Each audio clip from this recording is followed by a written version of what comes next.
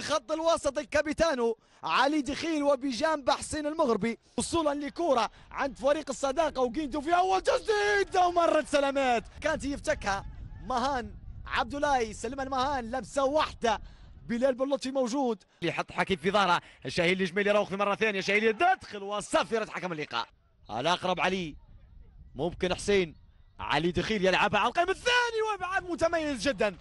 ابعاد متميز جدا كان من حارس المرمى عبد الرحمن الجيجمني خاطئه حكيم بوشانه يستميت. عبد الله تسديدة مباشرة في مرة أولى والثانية طه العوامي. العبيدي دوران إلى محمد خليل. محمد خليل نقلة إلى إسلام. إسلام يعود بها للخلف. محمد خليل يغيرها على اليمين. آه، مروان حفيتر يتركها. إلى ويس سويح. ويس يراوغ يرفع راسه يرجع بها للخلف إلى المغربي. المغربي لمسه control دوران يبحث عن زميل في الزحمة موجود سامي مخلص الماجري يخرج بكورته بامتياز يسلمها للسويح. ويس دوران يرجع بها لمروان.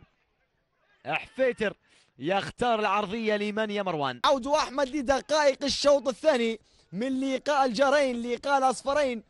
الصداقة يستضيف دارنس هنا على أرضية ملعب المرحوم. صلاح سالم بمدينة شحات شوط أول انقضى وانتهى. بالنتيجة السلبية. صفر لصفر لم تهتز الشباك. هشام الحمر ممكن. مالك الحاسي يوصل له. يراوغ مالك. عدي يا مالك. ماشي مالك. ماشي مالك. بلال بلوتشي في مرة أولى. ويستلمها ويدور. الكرة الليبية. هذه كرة من المغربي في ظهر محمد خليل والابعاد من إبراهيم العبيدي.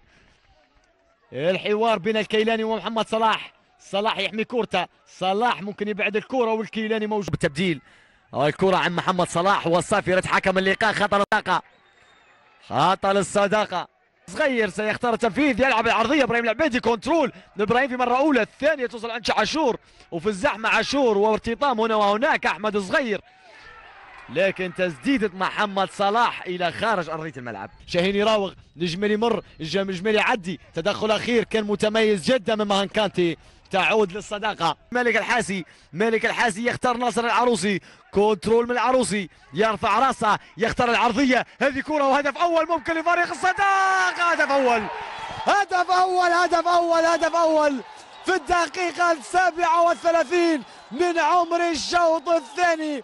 في الدقيقة الثانية والثمانين من عمر اللقاء. إبراهيم العبيدي ويجي العبيدي عن ثلاث نقاط تفصل دارنس عن ردة فعل كان يريد جلب نقطة تعادل لمدينة درنا.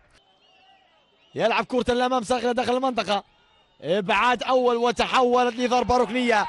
ومع الركنية يطلق حكم اللقاء مسعود عقيلة. صفرته معلنا عن انتهاء دقائق اللقاء.